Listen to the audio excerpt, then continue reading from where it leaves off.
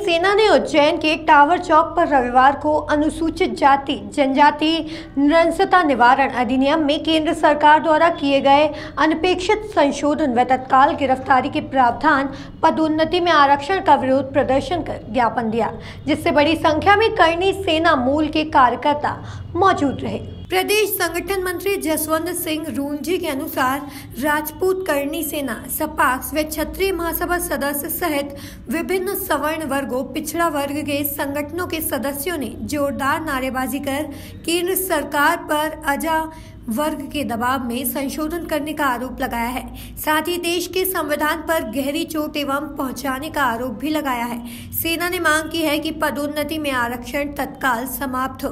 नहीं तो आगामी त्रिस्तरीय पंचायत चुनाव सहित नगरीय निकाय चुनावों में करनी सेना केंद्र सरकार के विरुद्ध मुखर होकर विरोध दर्ज करेगी। करनी सेना चुनाव आयोग से नोटा का बटन सुनिश्चित करने की मांग भी करेगी, जिससे देश को आरक्षण के नाम पर पीछे धकेलने व समुदाय के विद्वेष में धकेलने वाली सरकार व विभिन्न राजनीतिक पार्टियों को कड़ा सबक मिल सके। इस अवसर पर प्रदेश अध्यक्ष शिव प्रताप सिंह चौहान, जसवंत सिंह, रघुवीर सिंह चावड़ा, रघुवीर सिंह दादू, बना आदि उपस्थित थे।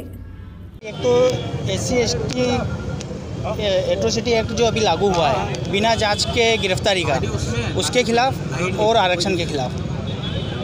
एट्रोसिटी एक्ट में अगर जो बिना जाँच की गिरफ्तारी होगी तो फिर ये तो पूरी तरह से एक तरह से अन्याय हो रहा है।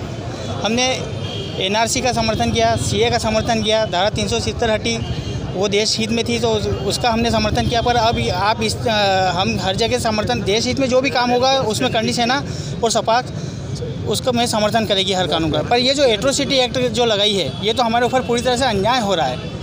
इस अन्याय को हम सहन नहीं करेंगे और इसके खिलाफ हम उग्र से उग्र आंदोलन करेंगे।